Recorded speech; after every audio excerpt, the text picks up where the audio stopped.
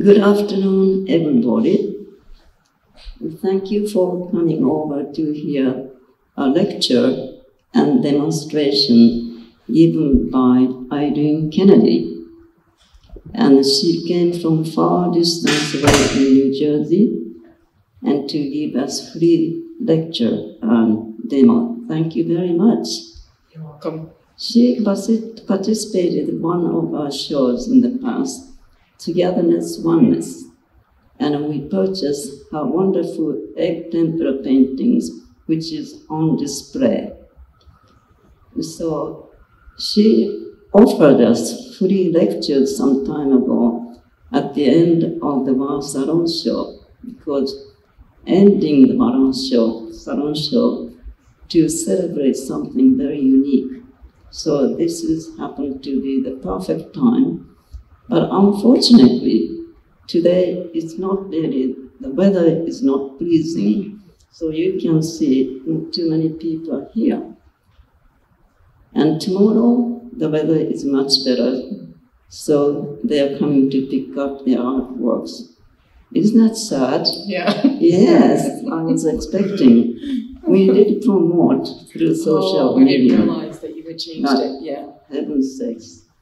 And sometimes unexpected things happen up in the heaven and they give us little tears. And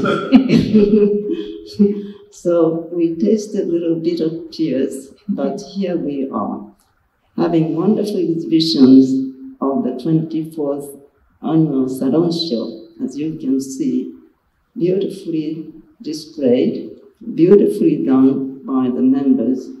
58 artists this year are members of the Val Salon on the 24th anniversary.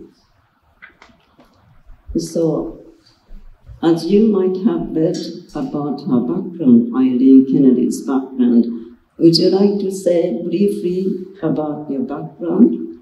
Oh, okay. So um, I've been painting most of my life. I'm now in nearly 70. and um, I actually did my undergraduate, uh, I did a BFA at Pratt Institute back in the 70s, lived here in Brooklyn um, for a number of years, It stayed on after I graduated. Um, of course, at that time, I came out of um, Pratt as an abstract artist. I was making large um, um, three-dimensional wall constructions out of uh, balsa wood, handmade Japanese paper, and watercolor. But even though it was like very, they were like, you know, and they were modular, they were made of like cubes, um, and I put them all together with glue and pins, and I had my little miter saw.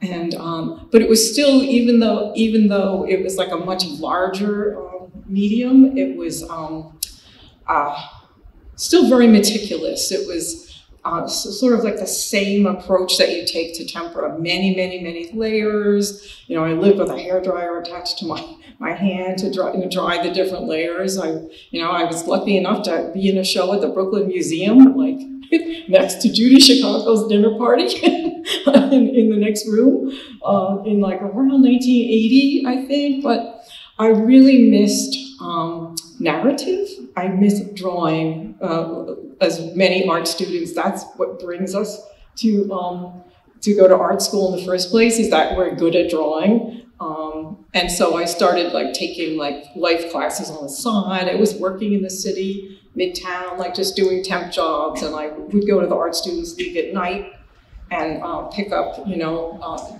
pick up my drawing skills. Um, and then I just started studying like old master techniques, sort of thing they just didn't teach in art school in those days. You know, there was we had a we had a great drawing program at Pratt, great anatomy program, great you know painting program, but no one ever like taught you how to do it. You know, it was just just go do it. It wasn't this is how you apply paint. You know, we learned color theory, we learned you know, we did, but we didn't really learn mixing paint from anyone. We sort of had like pick that up.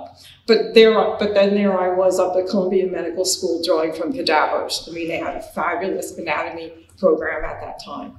So um, I had to find books. That you know, of course, there was no internet in those days, so it was like you had to really scrounge to find things out. And um, I had been introduced to the work of George Tooker um, in around 1976. Um, he's like a was a, a, social he's a social realist, uh, tempera painter who who was very active like through the, the 50s and 60s, all doing various classical uh, representational paintings during the time of the, of the, abstract expressionist movement. And I really was so enamored of the look, you know, just how those that paint looked different from oil paint and it looked different from anything I had ever seen. And um, so, you know, I, I picked up what books I could find. There was no one there to teach it to me at the time. I bought the, um, you know, I bought some pigments, I read up on it. Then I started reading about the kind of panels you had to make because you couldn't use acrylic gesso. So as soon as I saw a double boiler and blah blah blah, I said that's it, you know. So I became I, I became an oil painter and I did large figurative life scale life scale um, multi-figure paintings and I was reasonably successful. I mean, um, you know, I lived in the city for a while, but then I moved uh, to New Jersey. I married and you know had a family and um, but I kept painting the entire time. So uh, really, really, you know, large, large works. Um, you know, I did get like a, a fellowship from the state, you know, got some recognition. In those days, the newspaper still had art reviewers. Um, and so that, you know, I was, I could always get like a, a decent review in, in, a paper. In fact, I became an art reviewer. I was an art reviewer for the Jersey Journal as part of the Jersey, uh, the Jersey uh, city uh, art scene back in the 90s. Um, did that for a couple of years. And then, um, as, as life would have it, um, the little little change came. I, I was divorced and um, you know became a single mother, and I had to go get like a full time job. Um, but um, one of those one of the benefits of that was um, I got paid vacations, which I had never had in my life. There I was, almost 50, never had a paid vacation. And so I did some, and we had the internet, so I did some research. I said, I want to give that egg tempera a try. You know, this was uh, about 12 years ago. And um, so I uh, went on a workshop on an island in Maine for like three days, kind of learned how to just mix the paint and handle it. Came back for a couple years, made some paintings, then studied with another, that was with Phil Shermer. He's an amazing tempera painter uh, up in Maine. Uh, and then I studied with Koo Schadler, who is, uh, she, she wrote the book that I'll be showing you later. And, um, and I just started working in tempera and uh, I never looked back. I never went back to oil. So like basically the hardest, the hardest transition for me was the scale because it's so labor intensive. I mean, this is very large for a tempera painting. Most people are working on like nine by 12, like little pieces. I mean, Wyeth and, you know, others do do larger ones. But you're, it's, it's like a four to five month time investment to, to have to do a painting like that, uh, which you'll understand once I get into the details.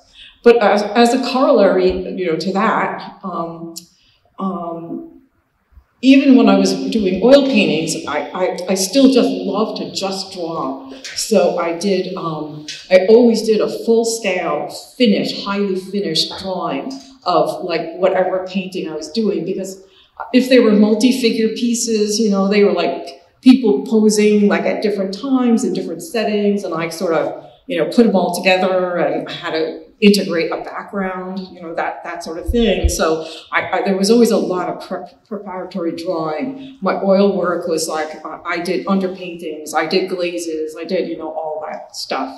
Um, so I, you know, I was prepared to do that for tempera, but to, to, you know, I had to bring it down, you know, down to size. And then, but I did, I was looking, you know, I was still using, I was, I used to use like Prismacolor, like the terracotta pencil, so it looked like the Renaissance chalk, but you could get, get like a much finer detail. Um, and so I was doing that, but then I realized that a lot of the tempera people that I was running into, because um, there's like a Facebook group, and it's tempera painters from all over the world, and we all like trade tips and, um, you know, give uh, you know, when we have a new piece done, we post it. Curators go in and curate, you know, shows out of that. Um, and um, and by the way, too, I have a handout that is here for everyone at the end, and any of the sites that I mentioned, or books, or whatever, all, or all that info information is on here. So you'll be able to take that home with you if you have any interest in pursuing it further. Um, a lot of the people were doing silver point drawing, and I knew silver point. You know, like I did, I had to take a materials course at Pratt, and we did like we did very contemporary materials, but we also did very antique.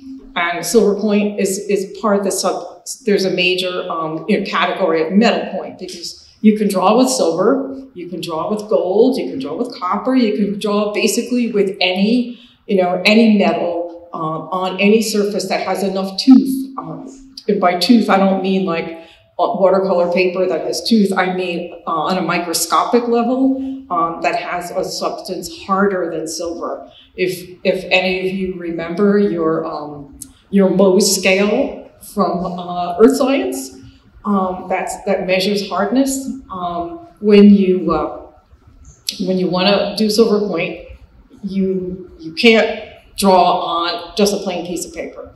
It has to be coated with something that contains an element that's harder than silver, so it will, you know, abrade the silver and leave a mark. So, for example, acrylic gesso has titanium white in it. Titanium is harder than silver. It's a, it's a good substance. Then, like, I can also use the same uh, gesso that I make uh, for my tempera panels, which is made of uh, rabbit skin glue, and I use marble dust as my white whitener, um, and that that gives a nice uh, thing too. Um, and then there are other uh, manufacturers. There's sort of a, a, renewed interest in metal point, so they're making like new um, things. Like Golden's has a silver point ground, um, which I, I've tried them all. So, and I'll get more into that. So what I want to do is go into a little bit of the history of it. So silver point as, as a writing method was like used like since uh, people started writing. Because when they you know used to take animal skins and and you know prepare them they usually coated them with some kind of coating to make it smoother. And they would use like a, a metal some metal implement. It might not have been silver to to write. But it really wasn't it became prevalent as a drawing um, material. Like in the medieval times, it has been used in illuminated manuscripts and um, as a drawing uh, method. But then in the early, in, in, in the, uh, the, the, Renaissance, like in the 1400s. So I'm going to pass around some examples of, um, of, of drawings that most of these were actually in, um, I believe it was 2016 um, part of the renewed interest was because the National Gallery in Washington, D.C. did a huge survey show of um, metal point drawing. Uh, and they brought silver point and metal point drawings from all over the world that have never been seen together, have never been out of their, you know, libraries or you know archives or wherever they were. And it was called uh, "Drawing in Silver, Silver and Gold: From Leonardo to Jasper Johns." And uh, they produce a beautiful catalog. If anyone has any interest in the history of and you know all the materials and, and whatever, but with the most beautiful examples, that's a great book. That was the catalog. So I did get to see that show. Uh, a whole people, a bunch of people that were on the um, uh, on that Silver Point Facebook page all got together and met in Washington D.C. when the authors were giving um, a talk, and they saved like the front, the front rows for us, and we were like VIPs. But um, so here is, um, uh, I'll, I'll just stay sitting down and then I'll pass it around. So this is um, this is from the, the this this is like in the mid 1450s. This is a silver point drawing and by um, from someone in the circle of uh, Van der Weyden uh, it's a beautiful, beautiful drawing. And when, when I pass it around, you will see that it's sort of like a rich, sort of red-brown color. And the beauty of silver is that just like with jewelry and silverware, it tarnishes with exposure to the atmosphere. Uh, gold, people draw with gold. Um, they'll draw, pure silver does not tarnish, but sterling silver does because it has a, a minute element of copper, copper in it, and that's what makes it turn. And, and that's why I stick with just sterling silver because um, I love the, the, the what happens, the, the, the patina that it acquires over time. Yes. Do you draw on a white surface? Is the silver, can you see it as silver, or do you have to wait for the patina to happen? And how long does the patina take to happen? It's, it's very um, nebulous. Um, I can see a change from one day to the next um, because it comes out dead, dead cold gray. It looks like a 9H graphite pencil but I can see the portions that I worked on the day before have already warmed up. It depends on whether you frame it right away. It depends on how humid the air is. It depends on what's in your atmosphere. And it and, and, and a host and some and I believe, although some people swear it has no effect, but I have found a difference depending on the coating that I use on my paper. And I'll, I'll get into like you know what the what those options are. Um, of course, back in the Renaissance, they were relying on uh, candlelight and daylight. So um, I think there was a lot there, and sulfur is one of the things that um, that causes it to turn more quickly. In fact, people do take like little, like they take liver of sulfur that jewelers use to tarnish a silver jewelry, and um, they'll put it in a little open thing and put their drawing in a box. but you can't control it. So uh, also fumes from garlic and onions can cause it to turn because my, my teacher's um, husband was an organic farmer and she left some of her drawings like when he brought like in baskets and baskets of garlic and onions and, and her stuff like turned overnight and uh, but then you know it, and depending on what you use sometimes it can have it can go too far and weird weird things can happen. So, so yes. what fascinated you for, to begin with? You know, you must have done etching before, and then changed to silver point. What made you interested in that medium? Um, well, um, a lot of tempera painters. It was a tradition that many tempera painters did uh, their underdrawing on their panel in silver point because that's traditionally what was done. They'll do a whole developed drawing with, they'll build up the darks, you know, and the lights and, uh, and also, you know, it, because the, the panel, the material that, the gesso that you make for tempera is an excellent uh, substrate for, uh, ex excellent ground for silver point. Um, you know, it will take and, um, and it doesn't smear that's one of the problems, you know, it's, it's kind of like drawing with ink. You can, you know, people say you can erase silver point, but it does, uh, you know, whatever you do, you're going to abrade the surface somewhat. And if you're doing delicate work, it's going to look different on that spot where you, you did that. So if I'm doing something like a still life or whatever, I'll just sit and draw it. But if I'm doing a multi, you know, multi-figure composition, um, I, you know, I, I will work out the whole drawing on, on, on tracing papers and, and then transfer it onto my panel. But I, I really love that delicate, um, uh, that delicate line that you can get. And I do have some, I, I didn't bring any, um, except I, I do have one small silver point drawing that I brought with me because of the weather. I didn't want to risk and, and, plus, I have a, I actually have a solo exhibition up right now, and all my current stuff is in that. So if, tomorrow's the last day, otherwise I would have had more stuff with me. Um, but um, so this, so and, and then on the other, on the flip side of this is is a drawing of a soldier by Leonardo. Um, it's actually, I was surprised at how small it was because I had seen it in books, but when I actually, it's only, it's only like about that big. But, and I, excuse me, I just, I just read that this was most likely um, like an assignment that he was given as a young artist when he was training. Um, and that everyone would have had to, had to do this drawing and that you would have to like do this drawing before you could go to the next step. So I'm, I'm going to pass this around. And these are, these are both, um, the first one, they don't have an exact date, but it's between 1455 and 65, and this one is between 1475 and 80. So I will just give you these to pass around. And then, um, and then we have, of course, Durer. Um, Durer, Durer did a beautiful, beautiful uh, drawing here. It's a self-portrait at age 13, and again, the, it's it's turned quite brown. Um, and and then on the flip side, William Holman Hunt uh, in the 18, 1877.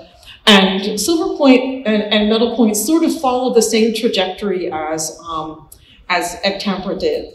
Uh, very, very popular in the in the early, you know, it was used in illumi illuminations, you know, during the medieval time period, and then became like the main uh, medium for panel painting um, in in in the early Renaissance. But as oil paint came in, it surpassed, you know, it was replaced with oil paint because the issue with um, tempera was that um, here I'll pass these around.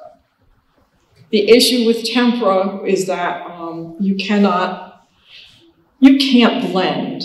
So when you, when, when you make a mark, if you look at this painting when you have some time later closely, it's made up of thousands and thousands of little marks made with the tip of my, um, my watercolor brush, basically. Um, once you, you make a mark on your panel, it is dry to the touch. So there is no blending, you know, for doing flesh tones or turning a form or, or anything like that. It is all done optically by transitioning color and, and value. Uh, it's, it's sort of pen, like pen and ink, pen and ink uh, in color. so, but, um, and then, then I will pass around um, some uh, samples of my own for, for the most part, these, these that are coming around, except for the very last one that has a very greenish cast, these are, these are, are, are photos of silver point drawings that I did, and they're like 18 by 24. Um, Is tempera water-based? Is that yes, it's water and, um, and it's egg yolk and, and water and pigment. So, uh, Can I ask why, what it was that attracted you from, you were working in oils previously, correct? What was it that attracted you to switch um, something so it seems very. Right. I, I always wanted to, to, to try it, but also I have a very, I, I'm ju- I have a very linear style.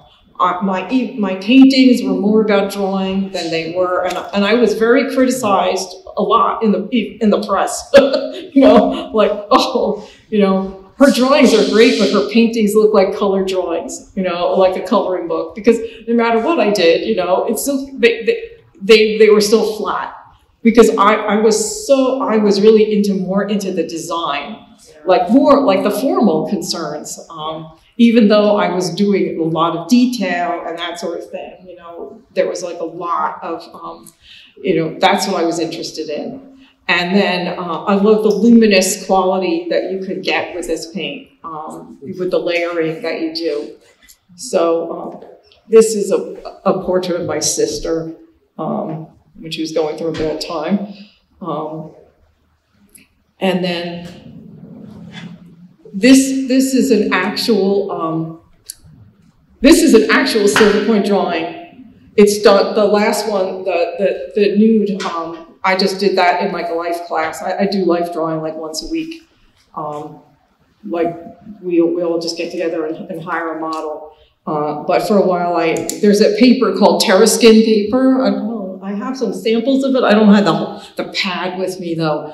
Um, that is made. The paper itself is made of calcium carbonate and a little bit of resin. So because of that, it's it's hard enough to let silver leave a mark, and you don't have to coat the paper. So, um, but it turns very greenish as you could. So that's an actual silver point drawing rather than a photograph of one. So, um, So the whole, um, the, um, so like as I said a little bit before, the issue with Silver Point is you can, you can use any substrate. You can use um, paper, you can use board, you can use wood, but whatever you use, it has to be coated with something uh, that has an element in it that is hard, you know, harder than silver. Um, so acrylic gesso is fine. You could put a couple of coats of acrylic gesso on a piece of museum board and you can just start drawing. Now, how smooth you want it, um, you know, it, that's up to your individual style. Uh, you can sand it, you can do whatever. So when I first started, I, have tried everything, believe me, I tried everything. I, um, because I was just sort of playing around with it. So um, when I, when I first did it at Pratt Institute, I still have somewhere, I have like their little abstract drawings that I did of, um, and I used uh, what uh, Chinese white uh, gouache uh, because it has zinc in it. So that that gave a really nice, you know, finish to it. And then when I started doing uh, this, I did, uh, I tried silver, I tried, um, I've done some pieces on, with acrylic gesso, and then I tried um, Golden's makes a silver point ground that, you know, it's a, it says it's self-leveling, which means if there are brush marks, it like, they, they, they flatten out so you're not drawing over brush marks. I tried that. Um, I found that had like a rubbery feel to it. And, and the, the, the most, the thing that you're looking for, silver point by nature or metal point, gold point, whatever you're using, it's a narrow, it has a much narrower value range than say graphite or charcoal. It's very, very hard to get dark darks. Um, I have, let me just grab this, this one here.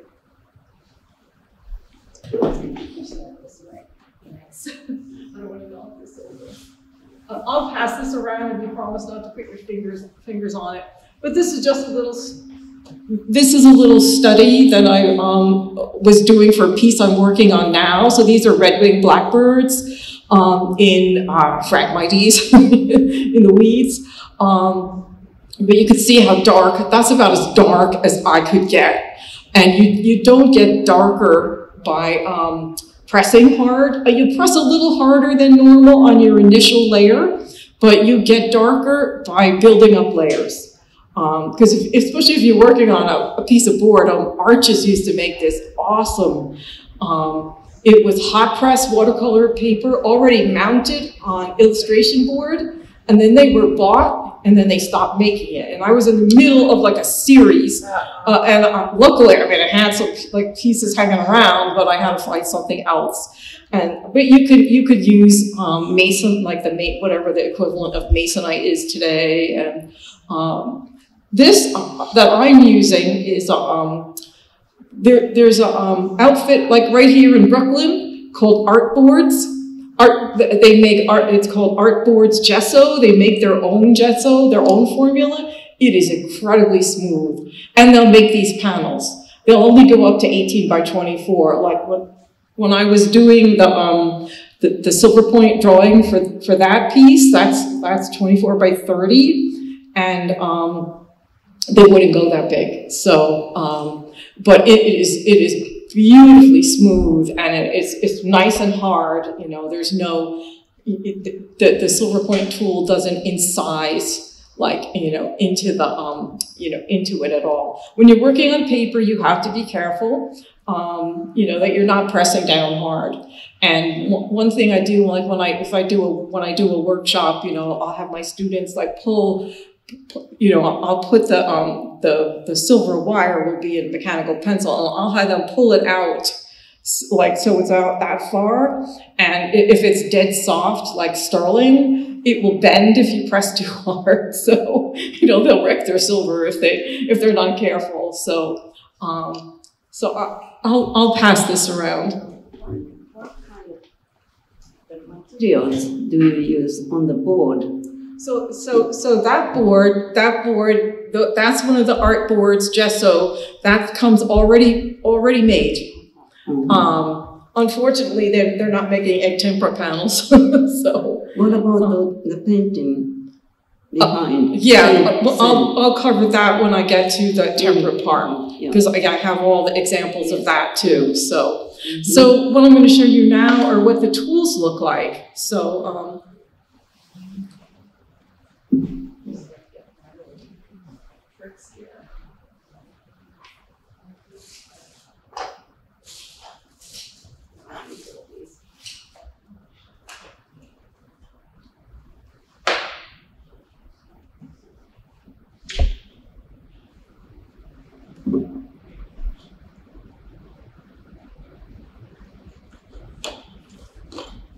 So I brought a number of tools that I routinely use. Um, I'll show you this one first because this is the coolest thing. So this, um, there was a man, Gavin Gardner, of course I found him online. Um, he, he makes all sorts of little artist things. So there are a number of Renaissance and early Renaissance um, drawings and, and showing um, people drawing with silver styli, and this is a solid silver sterling styli. Like he copied it from one of those paintings, and he he cast, he made a mold, and he cast them, and he polished them, and um, and I just bought one, and I really for certain things, especially when I'm holding, uh, you can hold it on the side and make you know make marks just like you know you can with a pencil. But then there, um, what I use the most are um, I did, it's a very thin, very thin piece of silver, um, and I will show you. You can go to a jeweler and just say, you know, I want this gauge, that gauge. You could look at their wire; they all have it on spools or, or whatever, and you know you can buy it. But then there are art supply stores that you know that sell it. Um, they they come in little uh, little tubes like this, and um, this is a, this is a thick one, a thick sterling. Um, it's like eleven dollars for a piece of silver, and it lasts a really long time. I mean, I do really large work, so but it will last me maybe one or two, one or two like pieces that size. Um, because what happens is, it, you know, it gets too short for the mechanical pencil, but then you can. For, for the first like two years I did this, I, I still had the one I made one in 1975 when I was at, at art school, and I, I just had a piece of dowel and I masking taped it to a piece of dowel. You know, it's just like other people drill a hole in a piece of dowel and insert it. You could, you know, do what do do whatever you want. Um, I I don't have a piece here with me because I don't really use it, but um, they make um, it's like steel wool, but it's copper. So if you want to tone like a whole area, you can take you know take that and like do, do the do the surface. Um, and but you can basically draw with anything. There's a guy. He's he's on the Silver Point uh, group that we're in. He he makes really large Silver Point drawings with pots. You know, he like throws pots on it and makes like big marks, and you know he has the treated paper on the ground, and and and he always like makes a video because it's really noisy. but people, you could draw with a coin, you could draw draw with your jewelry, um, with your with your silverware, what, whatever, uh, anything that you know is metallic. Yes. I'm a little confused. How, when you draw with whatever you use, whether it's a silver or the wire, how does it, the, the, the impression come off? It- It's it's the same as if you were drawing with graphite, um, but you've coated it. Remember, I discussed like the coating that you have to have. That it leaves a mark.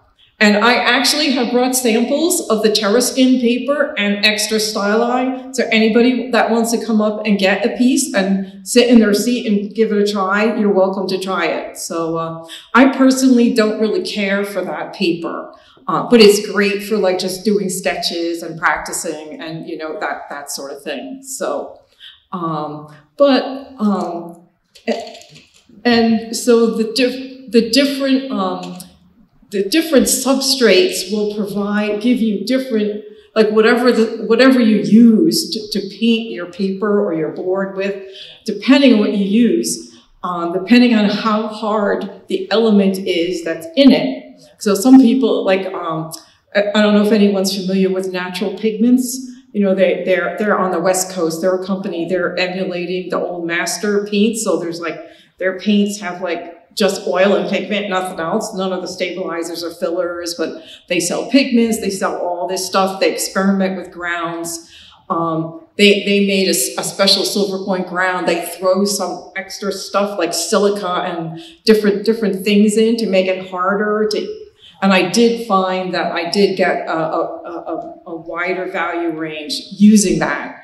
Um, but once when I discovered these panels being made like right here, and then they'll mail them to me, um, uh, and they're and they're really I really get a decent um, range of value, and they're so beautifully smooth. It's the sanding that that you know that's great. You you know the sanding is like, you have to wear an N95 mask. I mean, I had N95 mask before COVID. So it was like for working with pigments and, you know, all this stuff. So did you have a question? Just to chime off of that one, and it sounds, I mean, obviously we haven't even gotten into the paint yet, but the reason for doing, you know, sort of on drawing with silver, it sounds like it's A, because if you use a pencil, it would smudge and it would ruin sort of effect. Right. And B, because it gives such a light, you know, sort of tone. Yes. That you can, you know, sort of use it as, as really an underdrawing without affecting your.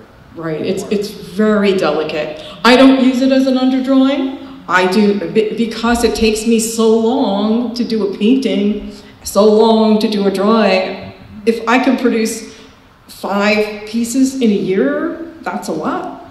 Um, so I, I I work out, if, if, if I was working from, if I went out and took a photograph and came in and just worked for that photograph, maybe I wouldn't go through all that trouble. But because I'm composing from disparate elements, um, I, have to make up the light source. You know, when I photograph my, like my, my figures, um, you know, they might be photographed on a different day, but I try to do the same light type of, you know, light direction at least, but then I have to like develop the light source myself, like make it a uniform light source, like make that all happen. So it helps me to um, work out all those, um, all those things um, beforehand, before you start painting. Because again, tempera, like silver point, is not a forgiving medium. Like, like oil paint, yeah, you want to move this hand over here, you know, you could paint over it up to a certain extent and, you know, move the hand, whatever. Here, you're, it's, you're down to taking a razor blade and scraping it back down to the white and, and start, you know, and then you have to match all those layers that you've done and it's like a real pain. And I have, I have done that, but, you know, because like it looked fine in the drawing, but once I got into painting, like the element of color is, you know, kind of intuitive. And so um, that's, and also a lot of us just do it because it's cool, you know, and it, there's, but you know, it's, it's just like you get like a different, we're, we're all kind of nerds, you know, we're materials nerds, like like um, my teacher that, that I studied tempera with, she's really gotten into Silver Point now. And um, she's writing another book. She's writing a book on Silver Point, but you know, she she has all these people she knows. She knows people at the Smithsonian. She knows people at Harvard. She knows you know all the paint manufacturers. She'll call them up. What do you think about if we did you know? And so um, she she really you know goes the extra mile to find out like if it's archival, is it going to last? But I just I just love the surface. I mean, I just finished uh, a painting um, and a drawing, and um, it's if if you go on my website or on Instagram, you'll be able to find it. It's pic it's it's called Picnic, but the silver point drawing, something happens, and it just turned this like in less than a month, in a couple of months, it turned this beautiful, warm silver. And I, I don't have anything that turned that like that. And I don't know why. So, and that's the problem. but I, one of the things is I left it out. I usually get it framed right away and then I sit, put it in front of my paint, painting and work from it when I'm painting.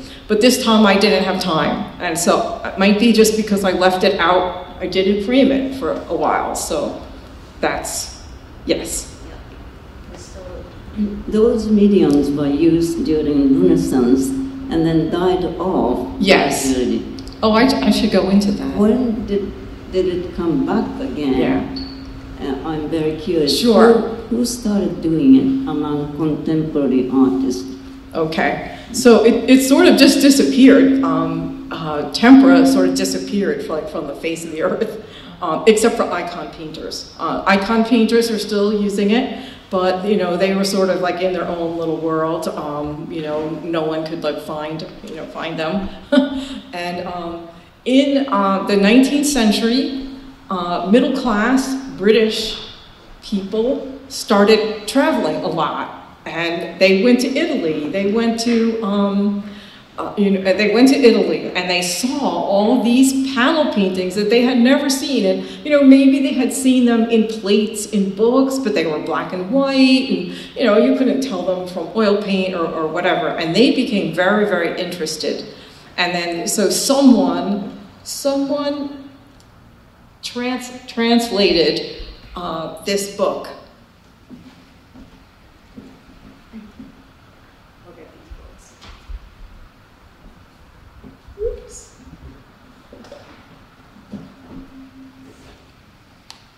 So some of you may have read this book for other other reasons. So this is uh, Cennino Cennini's uh, Il Libro dell'Arte, and it is like a guide for artists written in the 1300s, and it um, goes into everything from how to make brushes, how to make egg temper paint, how to do silver point, how to do every, you know, everything. And so, because no one knew how they, how they made those paintings, because there was no one around to tell them. So when this book got translated uh, into English, and um, people started experimenting with it. So in Great Britain, um, in, in the in the mid uh, in the 1800s, they they actually formed an egg society, and um, and actually, I think recently, it might even still be up there, forget the name of the library. There's a library on, in California that actually has an exhibition with a lot of the paint, these British painters, egg tempera paintings. The only thing is, is that uh, they probably like didn't get this, but they, they painted them on canvas. What- But they're, they're quite small, so which could be why they don't have problems. But um, tempera is a brittle medium, and that's why you never paint it on canvas. Uh, it's always paint, painted on board. So, so it became very, very popular. And then, and then, I guess you know, it was sort of like kind of subsided. It was sort of like a phase that, that people went through. And then um, in, um, in the 1950s, uh, there was Daniel V. Thompson. Uh, I believe he was, he was teaching at, um, I can't remember. I think, I thought it was Yale, but it might have been, it might have been Harvard. Oh no, this is Yale, Yale University Press.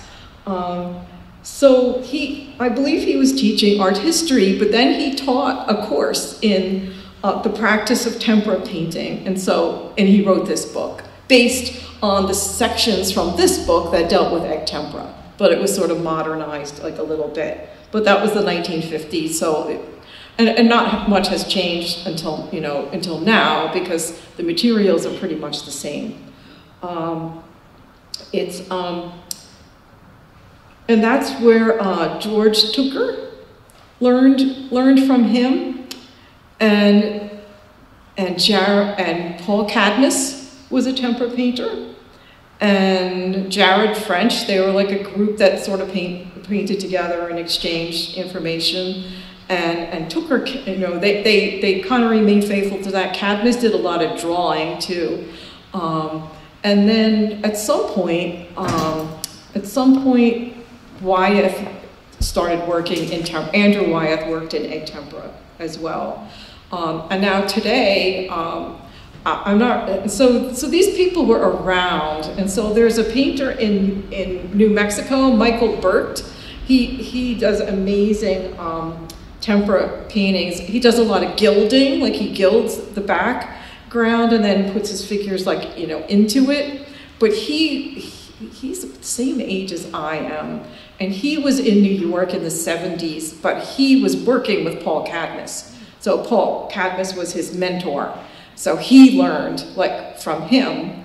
And then, then there were different people around the country. So Koo Schadler that I studied with, she had she was an art history uh, major. She became a furniture maker. She lived in Florence for a number of years.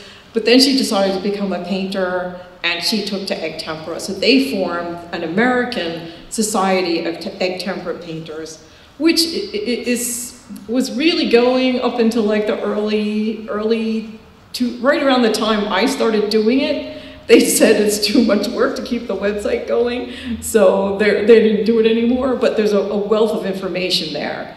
So then they all give workshops. So there was Fred Wessel up in, uh, at the Hartford Art School. Um, he, he's a tempera painter. And so they're, they're kind of like all, you know, all over the country. But because of the, uh, the internet, we're able to be in touch with each other and find out what's going on and, um, and, and find out about advances. Um, I just wonder how, how many people belong to the member of the Tempera Silver Point. Do you know?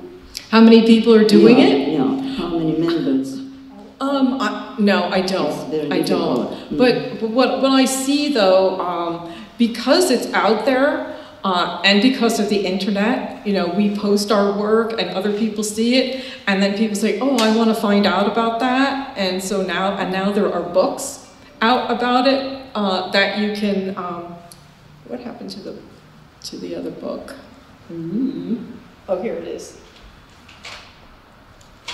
So because of that interest, um, Susan Schwalb, who lives here in the city, um, she's an abstract um, artist works in metal point. This, this cover is one of hers. So one thing about silver point is you don't have to work on a white ground.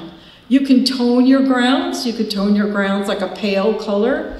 And then, then, you know, to get your really light lights, you know, you have to heighten it with, say, like a little brush and tempera. Or you can work on a very dark ground like she has like on, on this cover. And when you work on a dark ground, you see the intrinsic color of the metal more clearly than you do when you work on white. So like if you work in gold point on, um, on a white ground, it, it looks kind of like gray, maybe a little warm. Silver looks gray, copper looks gray, you know, it all looks gray, but it ultimately will tarnish to different, the ones that tarnish will tarnish. But she, she does these on, you could see gold is gold, copper is copper.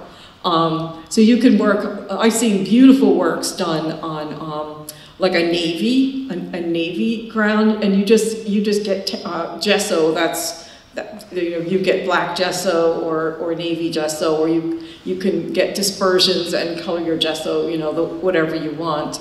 And it's interesting when you're working on that. When you're working on um, a light ground, like I do, uh, you know, you're working from light to dark. So, you know, the more, more silver you apply, the darker it is. It's the opposite when you're working on a dark ground. If I did the same drawing, um, you know, on a dark ground, the, the, the more, you know, you're working toward light, so the more silver, the lighter it is in contrast to the dark ground. There are a lot of different things that you can do with it. I'll pass this book around. This is an excellent book, a lot of resources in it. Um, a lot of different artists. Um, and I also know that Koo Schadler is working on a book now. It should be out in 24, 2024. It'll probably be on the same scale as her Tempera book. Um, so, um, so that that is sort of, you know, the, the, the story on, on Silver Point. And as I said, if anybody wants to try it, do you want to take a little break and people can come up and grab, um, grab a piece of paper and a silver point stylus and, um, and give it a try. If anybody wants to do that, well, you know, I'll let you do that and I'll get set up for the tempera portion. Um, if not, I'll just continue. So, no, huh? I, like I like You want to try it? Okay. Yeah.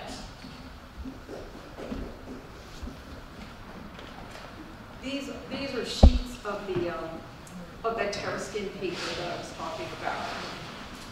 our silver point spotlight.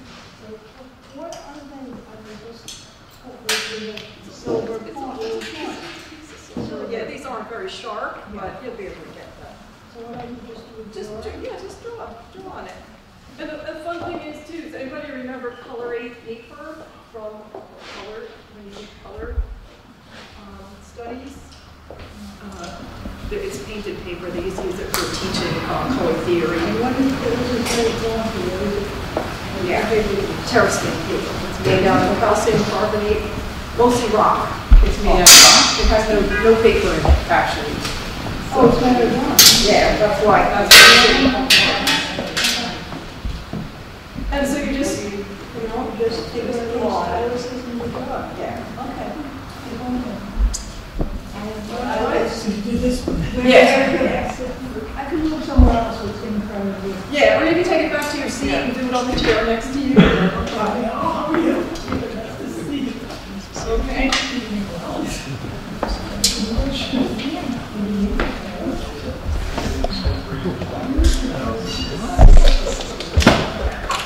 Yeah. They're all English, yeah. And they're all listed on, on this handout. Chairs are soft. Well, not all of those, yeah.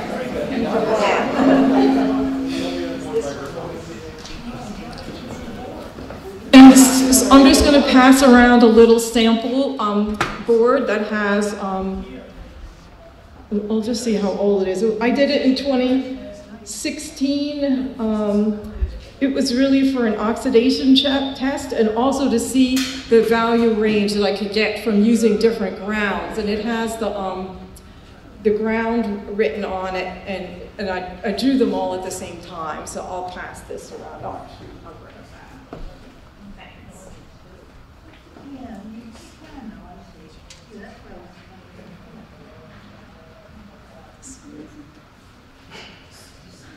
And that's you know, with a plain board before, um, no, they just did it. Yeah, so that's, that's from Art Boards in Brooklyn, yeah, yeah. And you can buy the gesso, I mean, it's really made for oil painters, you know, and and acrylic painters, but it works great for Silver Point, yeah, so. um,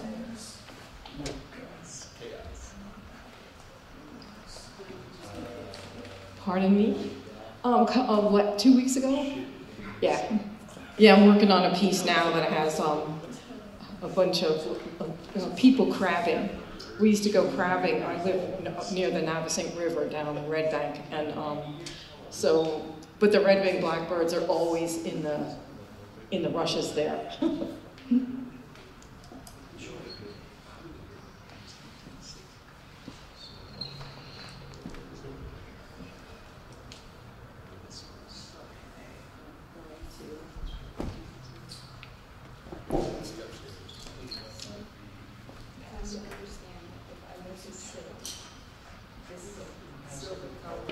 It, yes, yes, it, yes. It could take a while, I think, and it just depends on, I I find that in the higher humidity, it goes faster.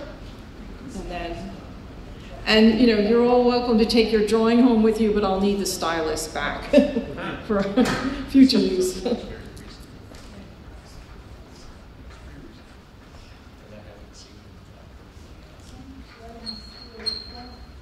Oh, you're welcome. Yeah, I'll probably be, I think I'm gonna be doing a Silver Point workshop, um, later this year, but down in New Jersey, yeah, yeah. It's too hard for me to schlep everything here.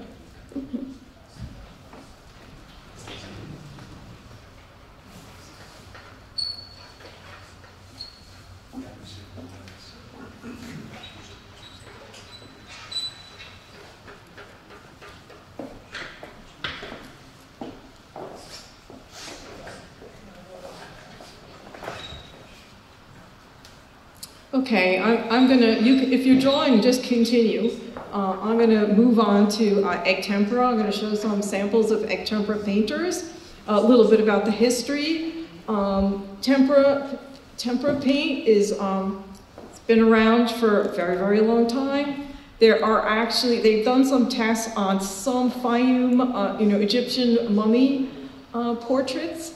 Um, they did find egg protein in some of them, but you know they can't like take them apart anymore, so they, they can't really tell. Most of those were done with caustic, um, but tempera became um, most prevalent. It was used in medieval times. It, it was um, for for manus, manuscript painting. Um, they, I believe they use some other additives though because it's it's quite brittle. So if you turn pages, you know it could crack.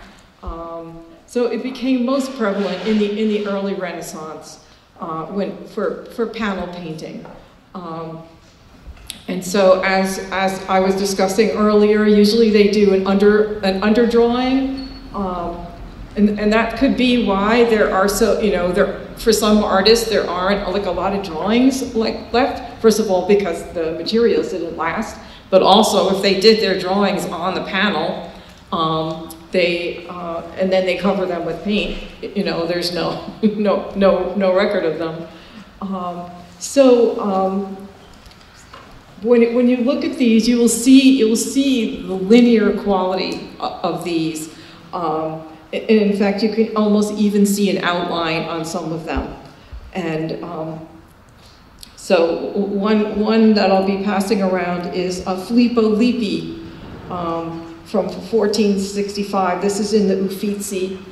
Um, and you'll get a closer look. But if you look really closely, uh, you, you can see, well, this has like a, a, crackle like all over it, but you know, you, you, you can't see the marks here.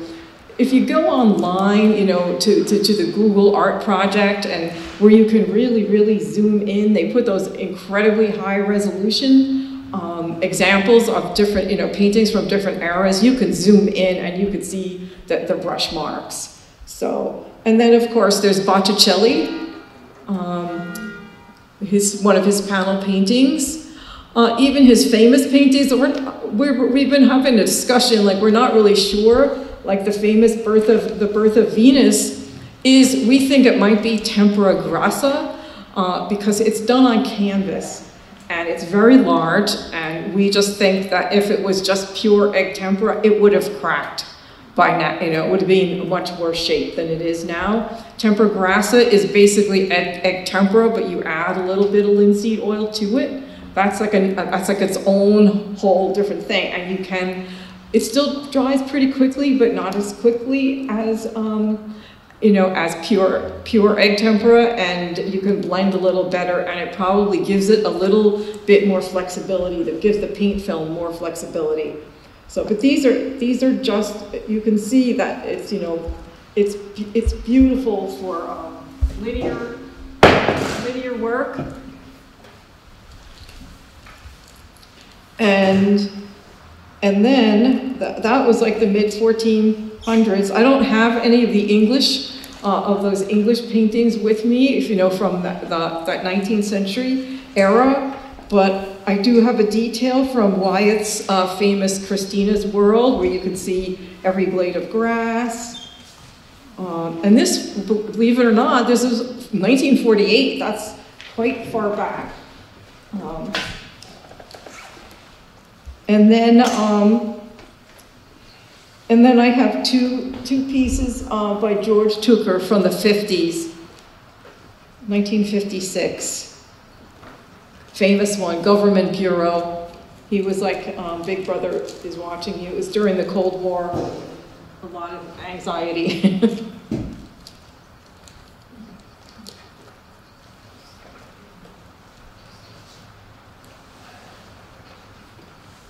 and um, then um, I'll show you some of the people that I studied with. Um, Phil Shermer was the, the tempera painter up in Maine that I mentioned. He mostly, he does portraits, but he mostly does incredible scenes of Maine. Um, and, you know, like, and, and the, the, you know, shorebirds and, and, but it's amazing, like, you know, rocks and grass and it just, tempera is made for it. And he gets that luminous quality of light from the many, many layers.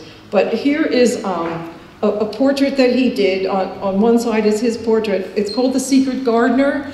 Um, I don't know if those of you are aware of it, the, the National Gallery every three years does a portrait, um, has a, a portrait um, competition.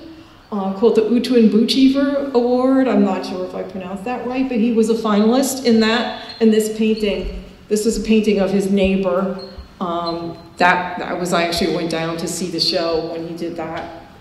And then, um, and then uh, Koo Schadler, my, my teacher, she does some unique approaches too. Her, she applies her tempera layers so thinly that there are no, you don't see any marks. You, there's just no marks to be seen. Um, so I'll pass those around. And then um, I have a couple of, of my own that are, um, one is one is 18 by 24. It's an early one. Well, like in this, I would have, I had the model, the model came and posed on my dining room table. And then I, you know, I drew from life and then um, this is called wetlands. So this is like the, the, the freshwater wetlands where we used to play as kids. So it's all the jack in the pulpits and, um, and skunk cabbage. And then on the other side is one that um, is a little larger. It's um, called Dona Nobis Pacem. It's um, it was inspired by a piece, uh, the Ralph Vaughan Williams choral masterwork of that name. I was actually singing in a, in a choir that was singing that for the first time, and it just kind of sent chills up my spine. It was an anti-war piece. So, so my, my question is, um, you take the photograph of the scene to begin with? No. Not just imagination? No, usually Usually it depends. I used to, um, the model, I would pose the model, and a lot of the, the backgrounds are from my memory. So, so I would look at field guides and whatnot to make sure I had the plant, you know, the details of the plant life correct. Um, and, or some, and sometimes I will, will go take a photo, but... Um, Something like that painting. Okay. Yeah. So for this one, this one was done, it was done during the lockdown. So um, I just had this idea in my head. I, I, worked in the environmental sector for like a number of years. We, we did like a lot of marine conservation. And like, so uh, bycatch was like a big thing, you know, like commercial fishermen that catch, uh, by accident catch uh, endangered fish or, you know, whatever, along with what their actually, their target is. And I just played around with ideas like that, and I was trying to get some models to pose, but I couldn't, so I just drew them out of my head. So, uh, you know, I, I, studied enough, and, you know, and to get people to hold a pose like that, you know, was, and by then I couldn't get models to come, we all had to stay in our house. So I, I, I, I, I have pages and pages in my sketchbook of trying to work out that composition. And um, so I, I, do a lot of prep, prep work. So you can see that the, that the water is purposely very stylized.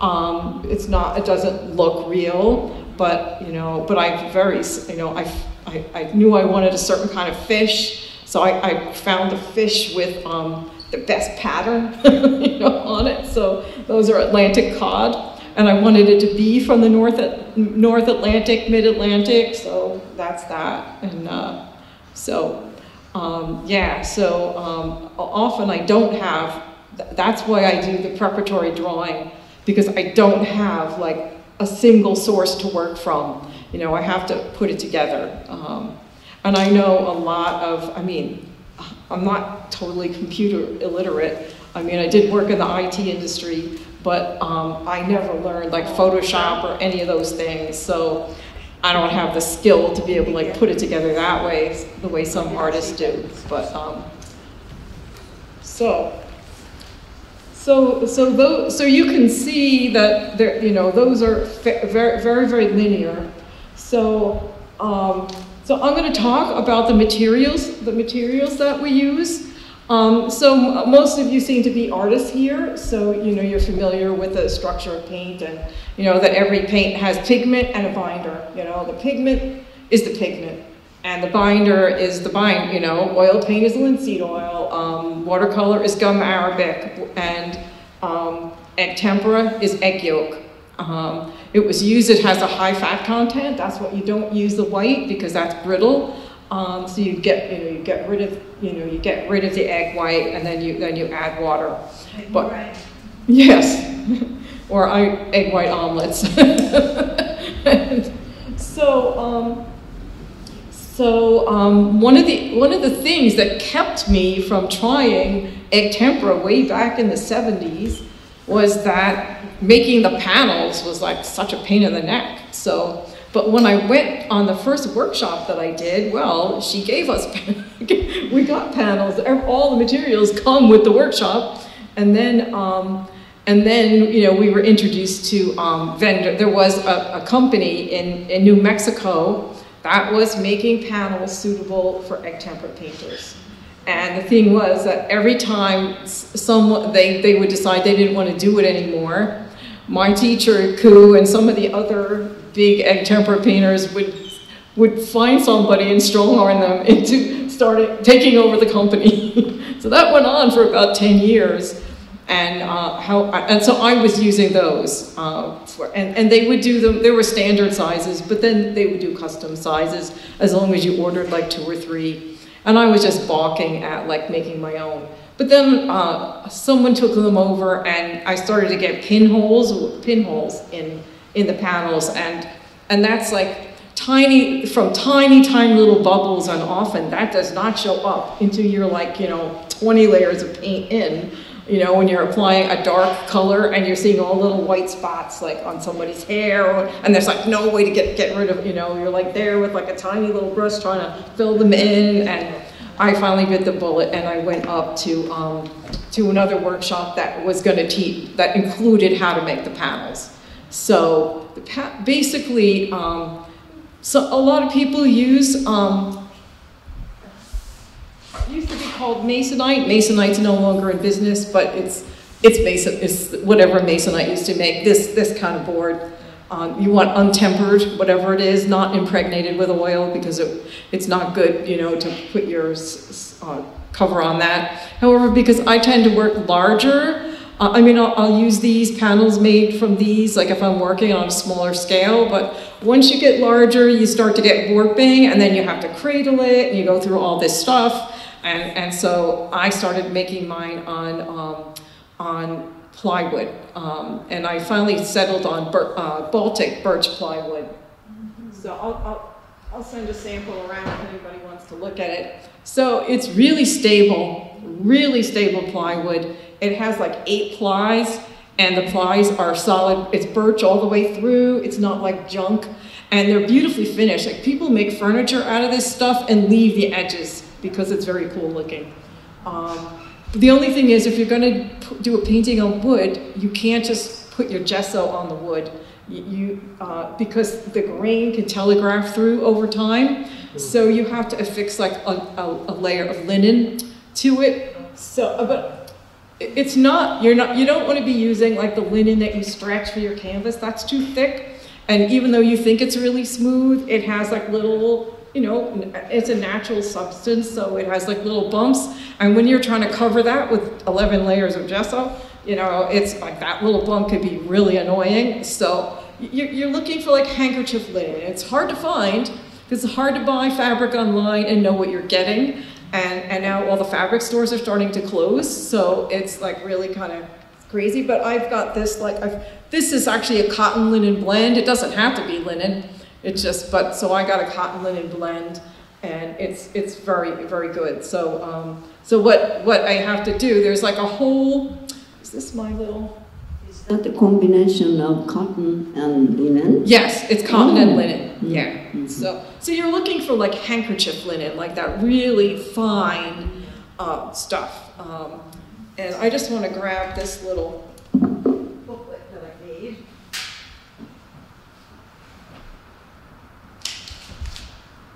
So making a making a panel can take um, takes like a week.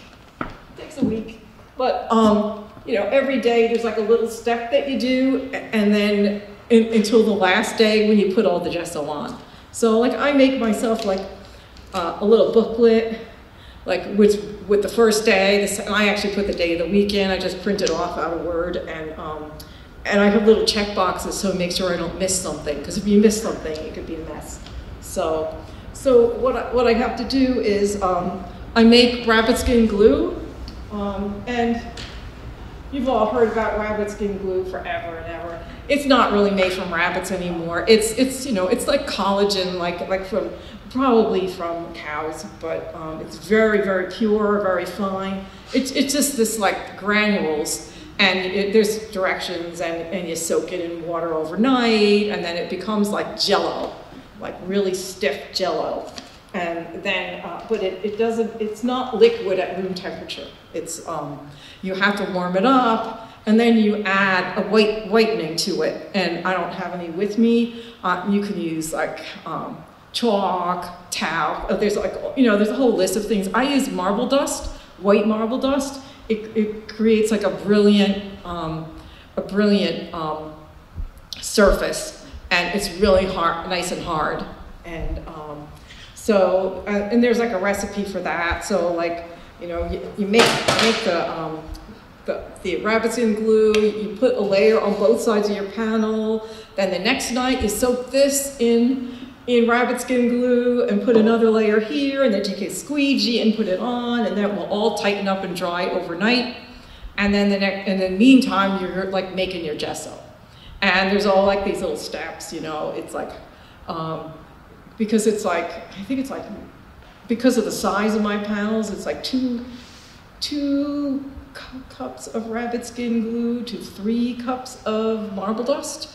And so you have to add it very slowly so you don't get bubbles or you end up with those pinholes. And then you let it sit overnight and then you have to, and while you're doing this, it's in a, it's in like, you don't keep it hot. It's like in a double boiler, but it's like on warm or it, like it has to be you know can't be so hot that you can't put your hand into it or it will break down the glue. So there's like all these little things. If anybody really wants to do it Koo's book has every little step in there and all the things to like to, to watch out for um, if you you know need rabbit skin, you have to dilute and then warm up with a yeah hot plate, right? yeah And so that it becomes all Right. smooth. So you Mhm. add add the white the whitening to it, Mhm. whatever you're using. Then you have to strain it. I actually strain it. I got this tip from somebody, but I strain it through pantyhose, and it's such a fine mesh. It really got rid of all the pinholes. Except I, I used to, you know, I used to work in an office, and I'd like have to go. I'd be cutting up my pantyhose, and then I wouldn't have anything to wear. but it would be like, uh, but it really really works really well and then you let it set for a day or two and then i I put i use it like 11 coats and you have to do 11 coats on the front but even this will warp so like when i'm painting this i'll i'll watch it and it'll be like this and then i flip it over and then the next day i paint 11 coats on the back i don't have to be as careful i, I mark back so i like don't forget which is the back and which is the front because once you're done, you, you can't see where, where the, the linen was, you know, you don't see the linen anymore. So, uh, and then it will, then it will straighten out. And then you have to let it um, rest for, rest for, I let it rest for a day or two. And then um, you, you do a lot of sanding. So I sand, I start with like a, like a, like a 180, and then I do 230, then I do 330, then I do a hand uh, one, and you have to keep checking it in a raking light, and then I do like 400 to 600. Uh, I'll pass, I'll pass this around anybody so people can see this wood. And then I have a, a panel. Gotten marked up a little bit. Here's one of my panels, finished panel. You can you you can feel the, uh, you can feel the front. Um, don't worry about getting your hands on it. It's uh, I can clean it if I ever decide to paint on it. So, uh, so that's that's the that's the, that's the whole that's what you go through with the panel, and that's why the whole the whole egg tempera world is in a tizzy right now because that company closed that makes the panels, and everybody's like asking everybody else. I had Michael Bergt asking me if I knew, so I make mine. so, so there's the only people who are making panels with the correct gesso on it right now are uh, icon suppliers, and um, and they tend to be small. Sometimes they have like edges, um, you know, cut out of them. and um, but there there is a group on the same company, Natural Pigments, on the West Coast, has developed. it, it is a um, the jury's kind of still out on it. It's an acrylic-based gesso, but that he has formulated so that it's absorbent enough that it will take egg tempera. And they're on aluminum panels, very lightweight. He makes it for oil, oil, I mean, you could get like big panels for oil painters, are really light, like if you do big work and you have to ship them, it's a, it's a great thing to try. But, um, and um, my, my, my teacher, you know, tested them for him, and she said they're, they're like 80% there as far as handling goes. Uh, she's not sure about, you know, adherence, you know, over the long haul. Um, they tend to be very, very cautious, so I don't think they put anything out that wasn't going to work. But um, um, she said it, it, you, one thing with tempera, if your ground isn't correct, and even if it is the right ground, um, if you're not careful, if you work too too long on, even though it's dry to the touch, the gesso underneath and the layers under, you know, underneath are damp. They, they, they don't dry fully for a while, you know, for a while, and you can lift. You can lift off like prior, prior layers. So, um, so you know, so you have to be careful. But how long do you have to wait until gesso is completely dried? Oh, but, uh, before you sand it? I usually wait at least a day or two, depending on how humid it is. But usually within, um, it dries pretty quickly. So like when I put, uh, like when you put a layer on, uh, when you're, you know, priming your panel, um, you can put the next layer on as soon as it's dry to the touch. And I alternate like, you know, you know, diff- making my brush strokes go, you know, different ways. You try to like be, very, especially on the front, you're trying to be very, very gentle and, you know, apply it smoothly so that um, you don't have uh, uh, air bubbles, because you can create bubbles like while you're gessoing. So, uh, um, and then, uh, but usually within two days, uh, it's ready for sanding. So tends to dry very quickly. Yeah, it yeah. does. We used to use it, and we still do, on canvas. Oh yeah, yeah, mm -hmm. yeah. yeah. and and that's the great thing, you know, like temper, you have to put a lot more layers on. But like, you know, if you're going to put a, la a glazing layer on, when I worked in oil, you know, if I put a glaze down, you have to wait 24 hours before you can put the next layer on when you're painting, you know, when you're painting. And, um, and, uh, gesso, you know, you just could put, put it on. that, that was the thing. When I worked in oil, I was doing large, like four by six foot, you know, canvases, like whatever, and I, I did my own. I primed them, I stretched them, I, I used raw, raw cotton duck, and I, I primed them myself, because I was doing detail work, and I, you know, wanted it very smooth, and I put like nine layers of gesso, then I would sand it all down, and uh, so I'm used to all this kind of. Have, have you sanded down for your project after applying gesso? You have to have very fine um, sanding. Oh, definitely, yeah. yeah. I, that's what I said. Mm-hmm. I go through like uh, mm-hmm. I go through um, like six different grits of sandpaper, you know, with the sanding block, and um, and and you have to like get all the brush marks out and some people want it much more smoother than, you know, others. Other people aren't that concerned, but depends on the kind of painting they're doing. Like, you know, I tend to do, you know, very fine brushwork. I mean, tempera, tempera, you know, you can like splatter, you can, you know, but you can't, there's no such thing as impasto. There is no thick paint. It will crack right off. But uh, people get texture, you know, they'll take toothbrush and, you know, do, to do rocks and, they'll they'll drag things through it to like get wood grain. You know, I I'm, I'm sort of crazy, but I just do it all because I want the I want it to all look like it be integrated. That's you know how I work, but. Um, uh, but there are there are amazing things that you know that you can do. So some some painters like just apply um, like uh, Michael Bergt. He only applies pure color colors and and he gets all of his colors by you know, by the cross-hatching and layering. Um, like he doesn't do a lot of mixing on the palette other than just tempering the paint. And then other people, I'll, I'll do combination, you know, sometimes it's a pure pigment, sometimes it's mixed, so. So, so I'm gonna um, demonstrate, you know, how I make the paint now. So does anybody, I, I have no concept of time and I don't wanna, I just want to know how we're doing. Four fifteen. Oh, okay, we got plenty of time. So, uh, I have a question. Um, During, in- during the Renaissance, what kind of ground did they use for? for- they used the same gesso that we're making now. It's in that book. That's where we got it. yeah, that's how we knew.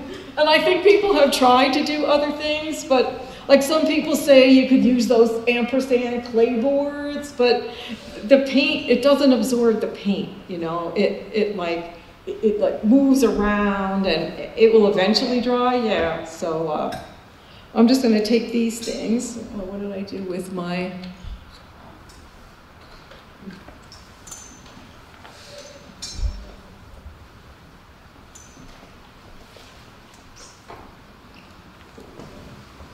I'm just gonna get a little reorganized here.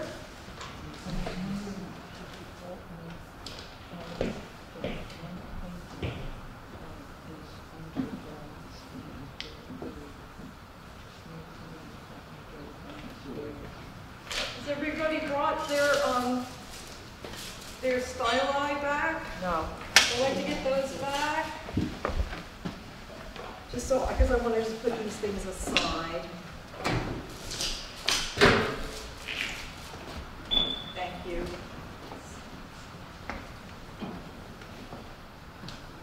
Thanks. And I'm actually looking for my, I don't know if I passed them out or not, or for my actual, my silver point tools.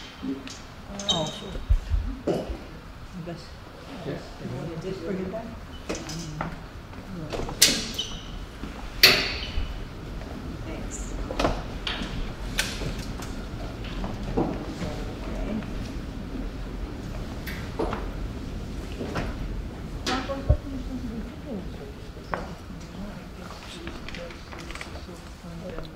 She's doing too. She's doing so. Yeah. I thought it was separate. I didn't know.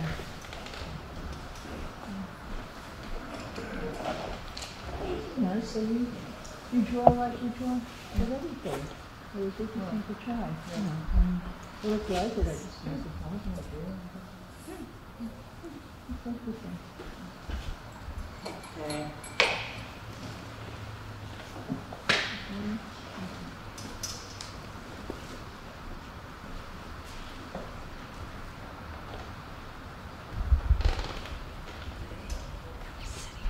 Oh, I'm sorry.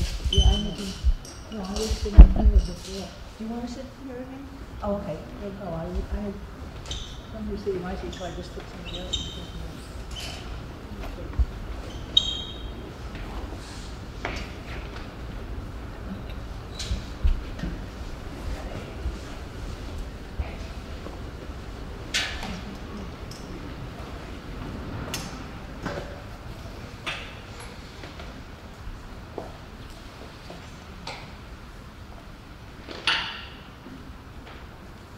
So there's like so many different ways of, of separating eggs. And you're welcome to come up here and if you want to be able to see.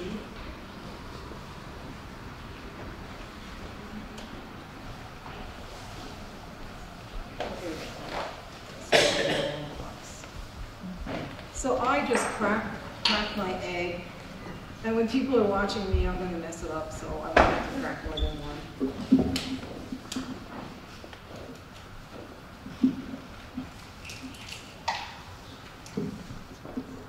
Oh, that one. Because the eggshell cut it.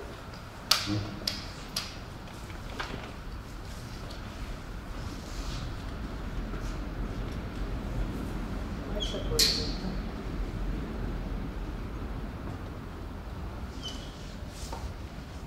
Okay, so usually, like one egg yolk, when I mix it with the water, will last me a couple of days. You can put it in the refrigerator. If it's really hot, um, you don't want to, um, I usually don't put it in my hand, but because I put the shells in there. Um, So now we have the egg yolk on here, but we, on a piece of paper towel. So we just roll it around a little bit so we can uh, get the rest of the white off of it and so that I can pick it up more easily.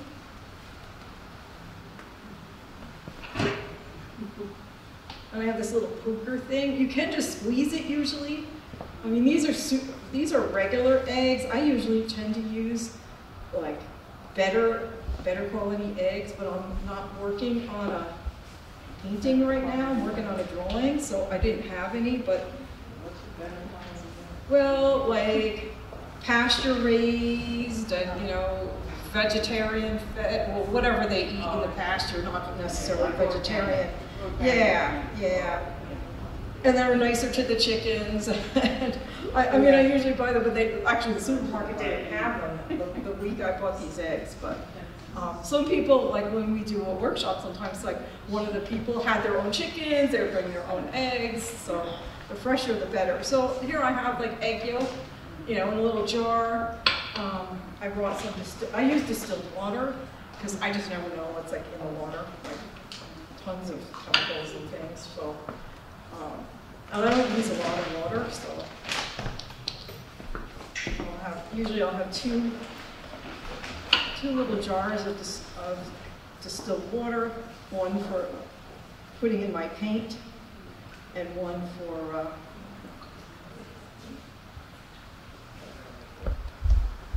so that's my setup, basically.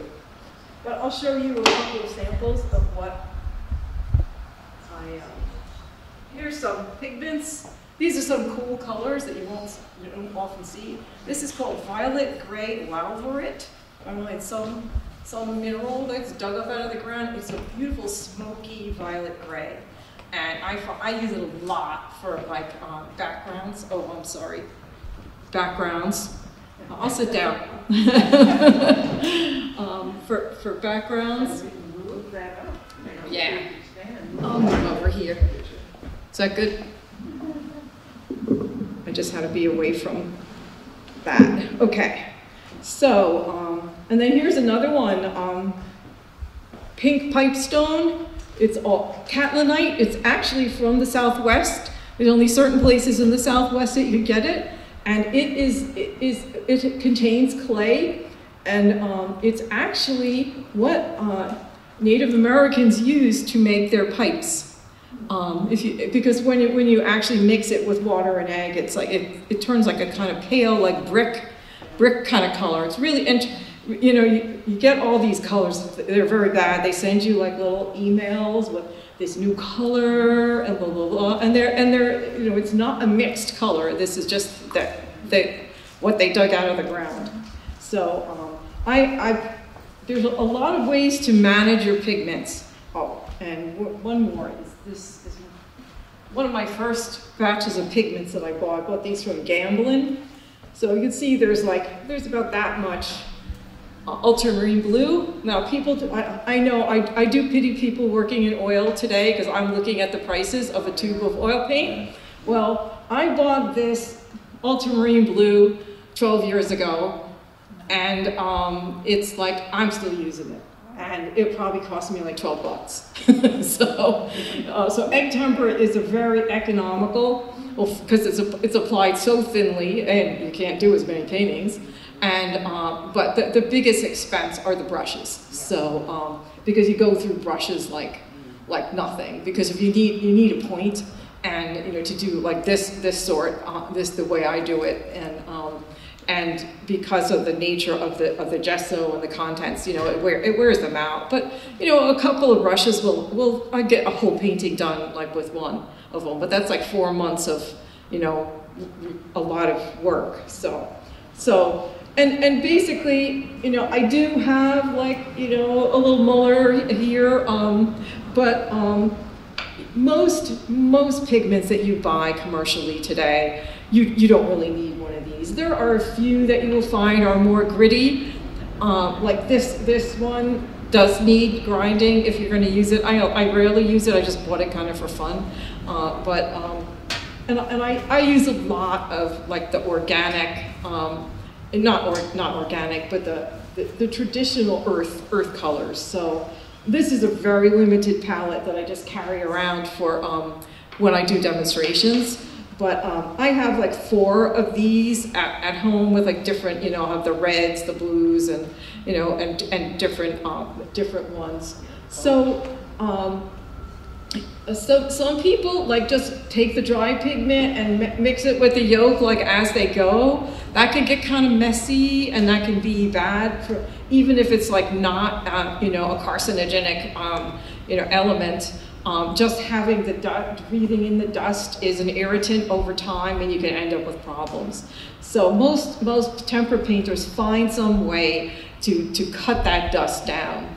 A lot of them make what's called pigment pastes, and they'll spend like a day and they'll mix. They'll have these little jars with like screw caps, and they'll you know put the pigment on here, and they'll mix. You don't you don't mix egg yolk with it. You mix just water with it until it's like the consistency of toothpaste, and then you put it in that little jar, and they they put it on their palette or whatever they're going to use, um, you know, as they do it.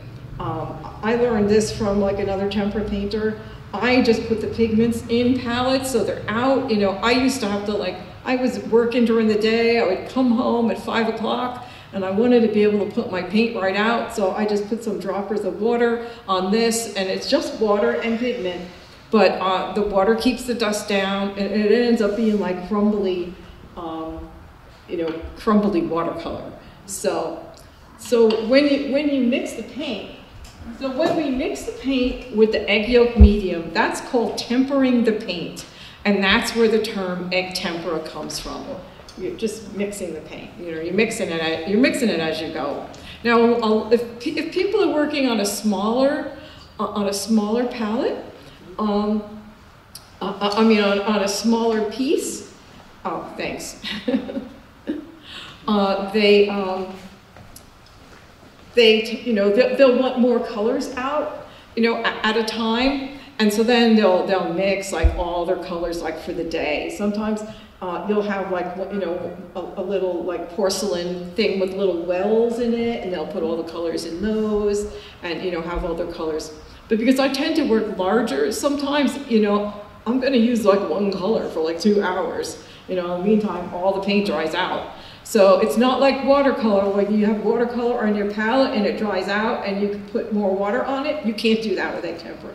Once it's dry, it's dry. You have to scrape it off and that's it. So you either have to find a way to keep it wet, and there are a lot of ways you can do that. Like, you know, we use a lot of egg droppers uh, to, um, you know, to keep keep things wet. Yeah, or, or little spritz bottles or whatever. Although these tend to like, they're too strong. they like blow it across the thing. So this this is the yolk, like you know, straight egg yolk. Really, it's too thick to paint with. So what we normally do is we add some water to it. Um, I don't do quite. It's it's a little bit less than 50-50, You know, uh, I, I put a little less water. I like to get mine the consistency like between heavy cream and India ink. And different people just like to work. Um, you know, you, you'll just experiment. People will experiment and. Uh, work different ways. So I'm just going to add um,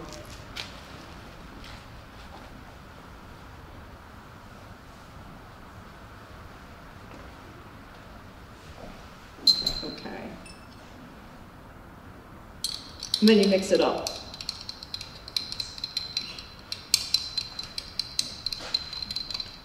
Somewhere here, I have a little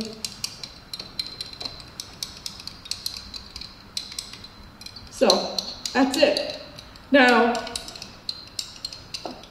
if if you're going to work, um, sometimes um, you know to get color down initially, um, we'll we'll mix paint a little thicker. We'll mix it on here, and we'll and we'll take a, a cosmetic sponge and we'll like sponge over whole areas just to get some color to get a layer of color down because using the brush it like can take forever then you might mix you might need to make more pa- paint for your sit-in you know like i might use two eggs and uh, you know and and that will go pretty quickly.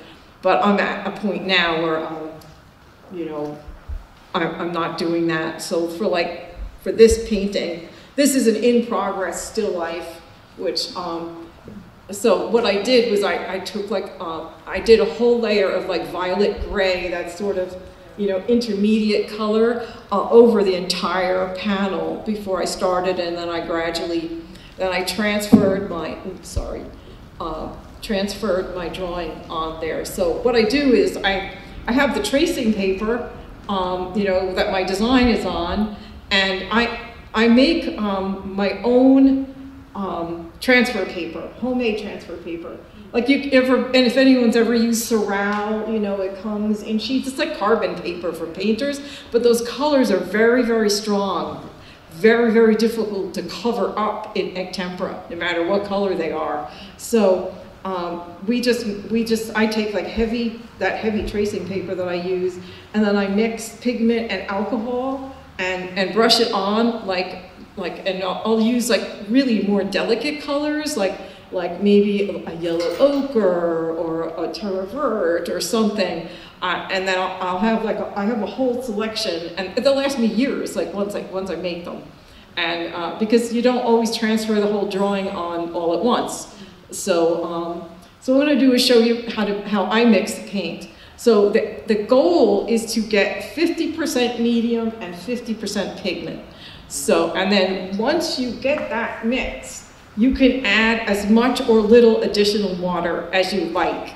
So you can, you know, make it very transparent or not. Um, you know, you just, it just depends on what, what your goal is like at the time.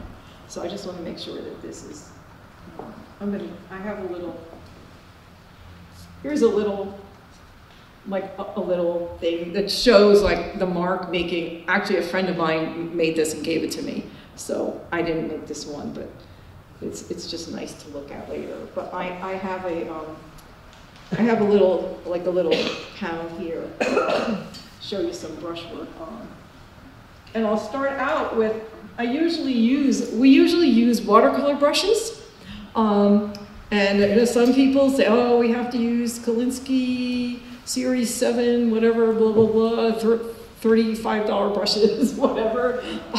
We, have all tried them. We've all tried a whole lot of brushes, and I've settled on, these are made by a company called Trekell, and I like using synthetics anyway. I find they hold up better, and um, they're, they're, um, they're like, um, no, they're like, uh, no, they're watercolor brushes, yeah. So they're like, um, like, say, like sable, but they're synthetic. But they're pointed rounds, so they're, they're very pointy.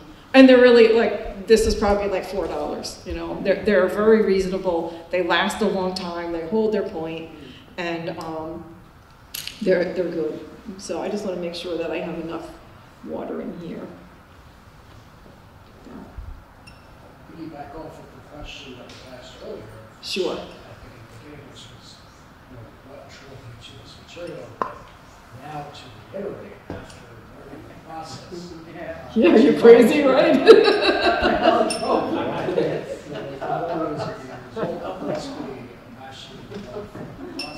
yeah. It, you know, it's like, I still remember in my, one of my first drawing classes i- at Pratt Institute, there was a, a- a teacher called Ted Kurahara, great drawing teacher. And he said, there's two ways of drawing. There's like jumping in and doing, you know, doing it and just getting it done. And then there is building it up layer by layer. And I'm one of those build it up layer by layer. Even when I did the abstract work, and I, I didn't realize this until over the years, you know, that's how I worked. When I did oil, you know, I did the drawing, I did the grisaille, I did the, the, the you know, the, the uh, glazes, layers and layers of glazes. And this, it's a little annoying that, you know, I have friends who turn out a painting in a day, you know, abstract painters, like, oh, you know, they have more junk to get rid of now than I do. Or, or as you said, you sometimes gotta go home with a piece paint. Right, and Right. Preparation, at least Yes. for me, would determine from. right, right. But now I'm like, um, but when I when I want to just get something done, like I get an idea and I know it's, I'm not gonna. So so when I decide to do something, I had to be really sure I like it because I'm spending four months with it, you know. And that's sort of the process. And that is the process, yes. So, Continue to go into the stages, Yes. get more deeper. Yeah. and deeper with your work. and it's very meditative. I mean, you just know, and there's always this stage like right in the middle where it's like, oh my God, this is. You know, it's I ruined it, you know, because because the colors are all muddy, and but you just have to keep. And I just have this little voice in my head. My teacher used to say, just tell yourself. You just have to do more layers. And, and then, and, and with tempera, there's like a switch. Like when you're 70% done, all of a sudden it starts to look like something. And it's like, I don't know if any of you remember, uh, some of us remember, but I, I, I used to have one, uh, the, uh, those um, Kodak, uh, those instant camera, what were those called? Polaroids, the, the Polaroid cameras. So the, the, the, the, the picture would shoot out the, the back and, and it would sit and it would develop before your eyes. It's that, because you work over the whole surface on this, it's just like that. It's like, but it takes four months instead of like four minutes, you know? So, and if anybody's interested, that's why a lot of this talk is about the materials and, and how to get there. And because watching someone paint an egg tempera painting is like watching grass grow. Um, but I'm going to show you some, you know, how to handle the brush, how, how to mix the paint, you know, and it's, it's, it's, you know, it's very, um, I listen to tons of audiobooks, tons of podcasts, because I'm, you're alone like, like all the time. And, but, but it is like, I, I'm so now into like this routine, like by the time I'm getting near to the end of like a painting, I already am lining up the models for like the next painting and, you know, figuring that all out and getting the panels ready and, you know, that sort of thing. You know, I always have to like drive the wood over to my brother-in-law's house because he has a wood shop and he can cut the wood. there's all these like little rituals. But I did, when I decided to do this, you know, it's, I can't like show up and, and show my work to a gallery because they want like 20, 20 pieces in a year, you know? It's like, that's just never gonna happen. So I do like, you know, small group shows and, you know, that sort of thing. But, and, and at this age, I wanna be spending my time doing what I wanna be doing with the time I kind of have left. So like we can, we sit around and How many students do you teach? I don't, I don't teach. Yeah, every once in a while I'll do a workshop. I'll do a Silver Point workshop, yeah. I don't really have a space, you know, to teach. And I used to teach like drawing and painting and anatomy and that sort of stuff in my home studio, but I don't have that sort of space anymore where I am now, so. um, That one took about five months. Um, and that's like 25 to 30 hours a week. So, uh, because I, it was during the lockdown, I was still working, but I was working from home and, um, yeah. Yeah, so that was, that was fun. And that, and that was just the painting. That wasn't the composition or any of the other stuff because it took a long time for me to figure that out. And I think I even made a change. Um, sometimes I'll do the, the, the drawing, the initial drawing, and then I'll, um, you know, then I'll say, that doesn't, I would like to change that, and I change it before I do the painting, How did you learn composition? There's so much going on in there. Not just the layers of the Yeah, you know, I just, it, that was like kind of like my natural gift. I could just, I could just do that from the time, even when I was a kid, I used to make things, you know, that way, so. Uh, you know, I, I don't know if you can teach composition. You could give people rules and guidelines, but that's kind of, kind of it. So I think this is ready, ready to go now. So would it be better, I'll put these down the side here, so it'll be weird for me, but, um, so where is my thing, paper towels? I have a very certain setup that I use them. I'm not in it. Okay. So I am gonna mix up some yellow ochre here. It doesn't, no. Like, you might notice it, it might make your white look really warm, but once it evaporates out, it's gone. You know, you know, it's really not, um, yeah, You see, you just guess how much you need, it, eh? but, yeah, you're trying to do like 50-50.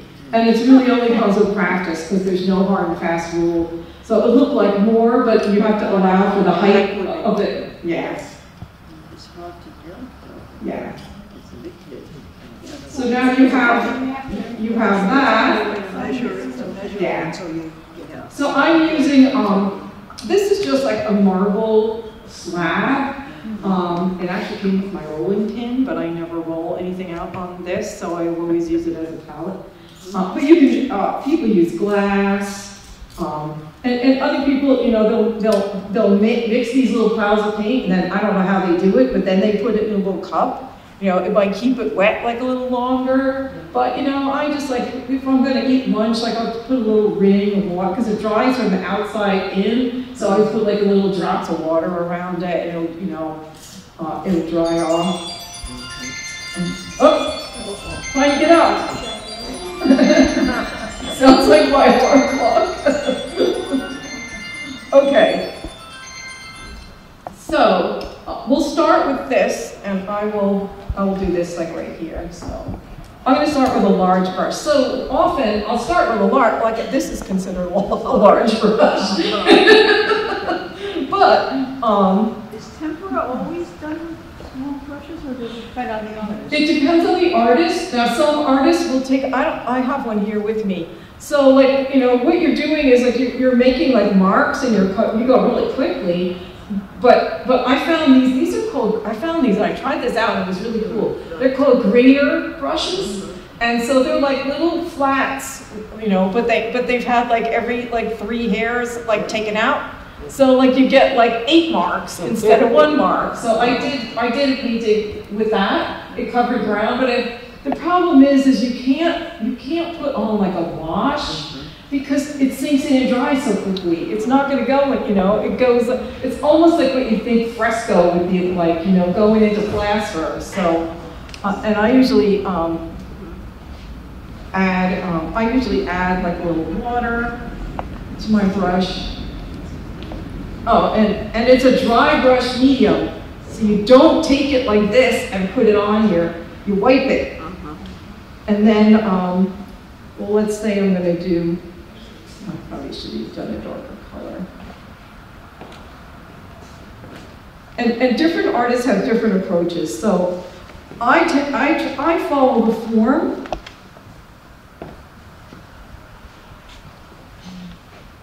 So you see my marks, um, travel around, you know, they're going around the form. And you're working, um, from dark to light. So the, the temptation is, is to use it like watercolor because you have this beautiful white, you know, panel and it glows and through and, but you really, that's, that's not the aim.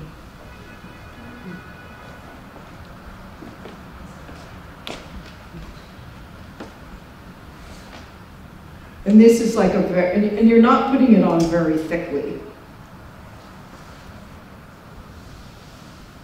And, and so what, what it is, is like a back and forth and a back and forth. So this is, I'm applying this very transparently.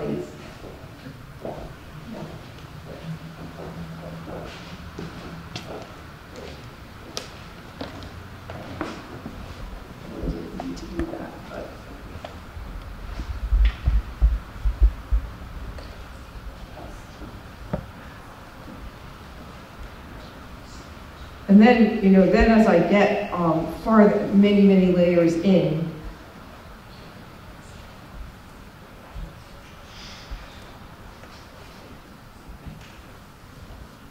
so I'm going to take some, uh, I'm going to take a little violet color here and mix a darker. I might take a little of this, put it over there.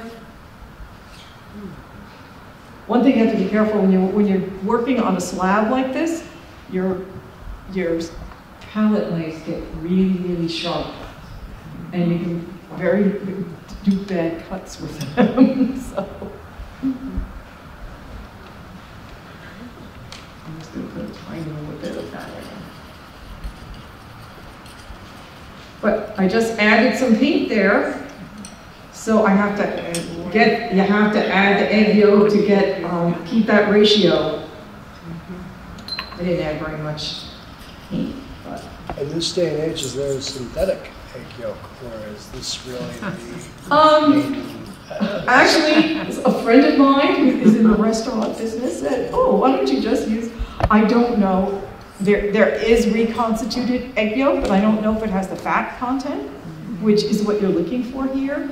And since I only use egg like you know, one egg like every two or three days, it's you know I would rather just stick with the recipe. Also, you appreciate the process. and- yeah, yeah, I know. More I'm an old fart, if, you know. Uh, so. If, if, if somebody has, has done it, yeah. Yeah, and I haven't seen, like, and I'm thinking, there are a few painters that are trying to use egg, to do egg, like, they want to do egg tempera, they want to say they're doing egg tempera, but they want to do really large. Well, they can, but it's not going to look like egg tempera, it's going to look like poster paint. You know, that's what it's going to look like. Because the, the way you get this quality, the quality that you want, like sort of that kind of luminous kind of color, is by the layers, not by taking, you know, I know a woman, I, I, I- she's a lovely woman, but she's like, she's like using rollers with egg tempera paint to- just to make a six foot tall painting. And, um, but then you might take a layer like this. And normally I wear, a, um, I wear a glove, which I left home. And I, I work on a turntable. See now, you get some dark in there. By You really have to have the temperament for this. You do, you do. yeah. I know. You know, and I'm so glad that I didn't find someone to teach it to me when I was 21, because I would never have stuck with it. I was like, get rid of this, you know? And I was like, uh, So when you do an egg tempera painting, is this how you work? You do a little piece at a time? well, I'm just showing you this now. I but- know, But but what I I would do is, I probably would take a sponge, and uh, I'll show you what I would do with the sponge. I'll use this sponge, Or because said it's, and kind of Yeah. wipe it across? so. Hmm.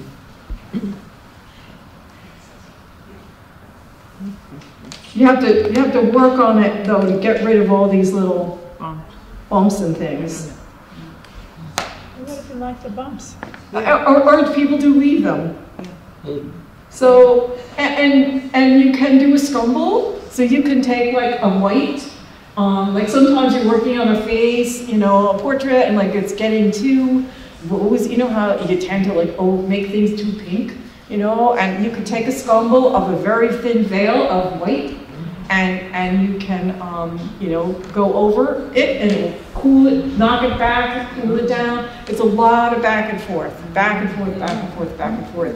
When I do, when I do a sky, like, like that sky, that sky looks great, but, you know, that is like, that would be a layer of pure, you know, a, a pure, like, pink ultramarine blue, mm-hmm. watered down. And then a layer of, I have like a, an Armenian earth, like orange, mm-hmm. um, a layer of that. Mm-hmm. And then I might, and that's just with, you know, with no white. And then I'll, I'll do it with white. And then I'll, then I'll mix the gray and do a layer of that. Then I might throw some violet in. It's layers and layers and layers, and it sort of gives it that sort of, that quality. Um, and, you know, different, different painters, you know, do it, do it different ways. So I'll sponge a lot on, um, and, um, but, and I, and I can even, I can even do some work on this one, so, because this is in progress, so I, I'll use a smaller brush. But this, this has so many layers, it has violet, um, it has, um, I just love, like, rolls are like so, like, you know, they glow, the golden glow of like bread. And, uh, take this. These little things on.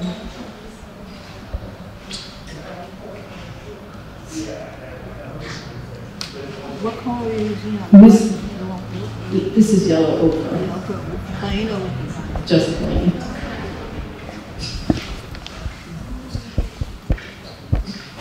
And you just have to keep moving. You can't hover, because that's when you get that lifting problem that I was telling you about. And if you get a hole, what sometimes it'll go all the way through all the layers, and then you have to wait for it to dry, and you have to sort of replicate all the colors around it.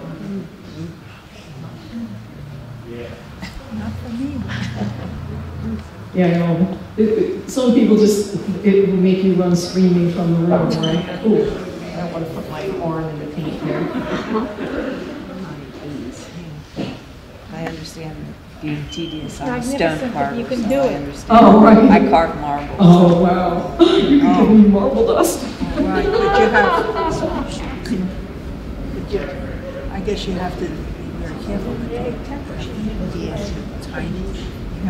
It depends on Depends what you're doing. what details that you really want to I include. used to know a marble carver. He, he worked at Pratt, but he, he, he taught at Pratt, but he, he worked at the Met. Um, he was, he and his daughter, Hohev, Vanessa Hohev and Bruce Hohev, they had a foundry. But he was a marble carver. I've never done it, but I've, but I, um,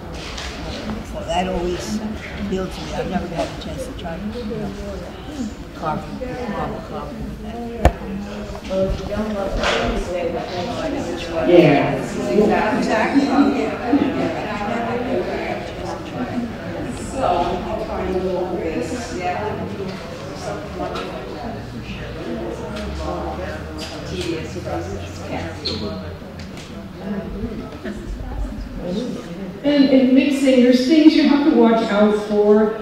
You know, you, you really, titanium white is the white that you use. You don't have a lot of other options. But, you know, you have to make sure things don't get chalky. Um, I just discovered something that my teacher said, try this, you know? I said, like, let's try this. It, it- they make a titanium buff. So it's like a, t- like a very pale tan.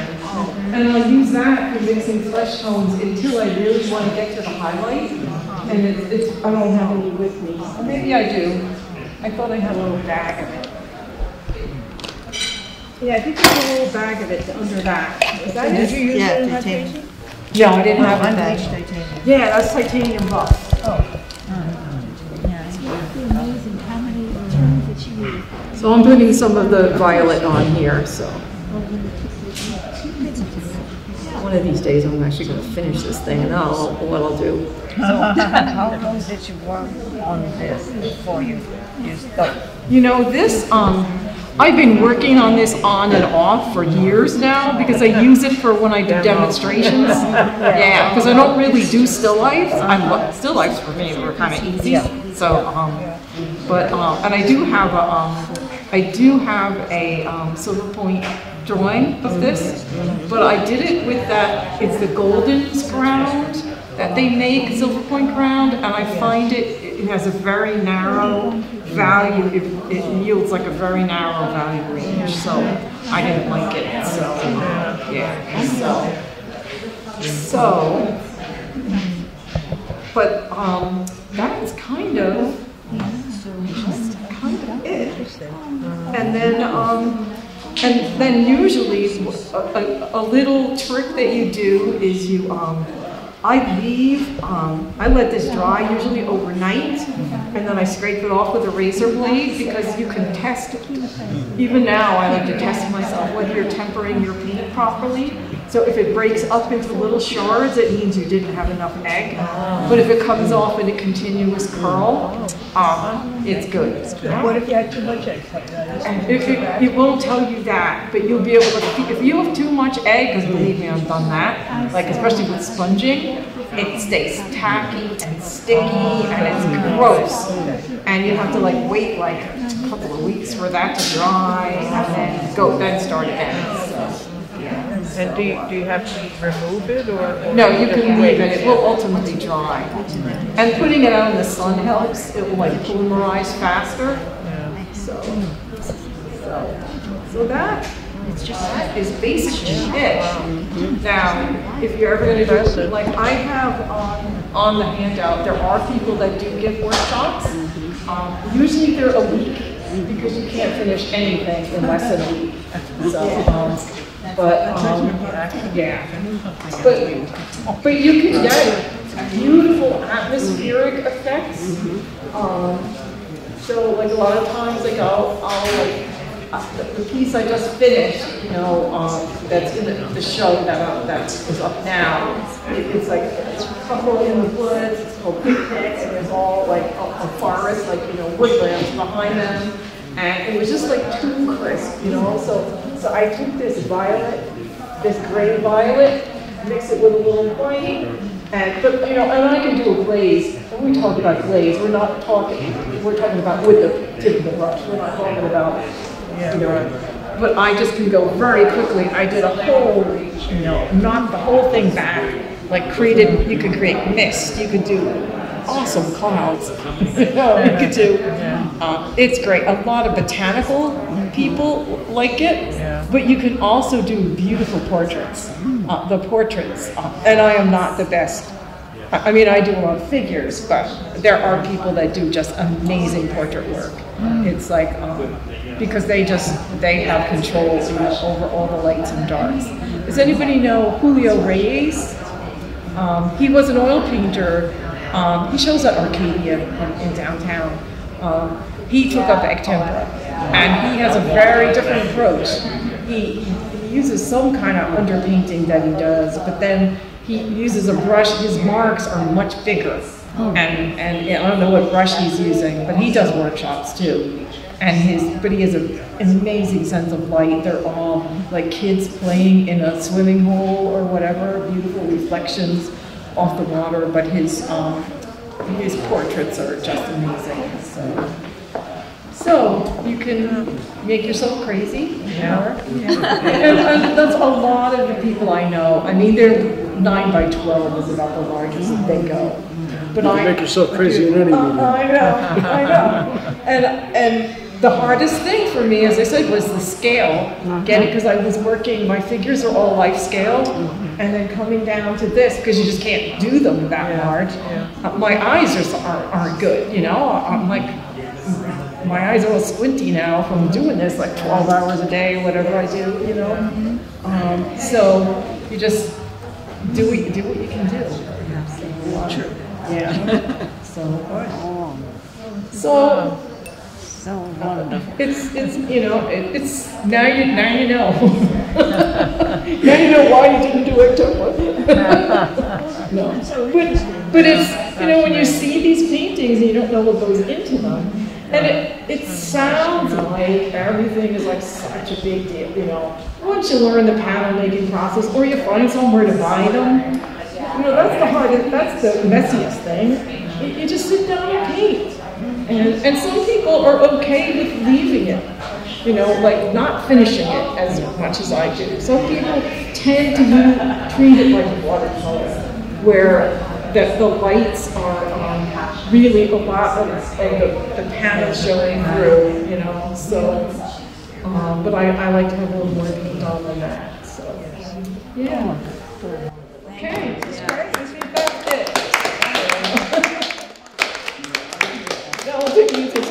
back in the love.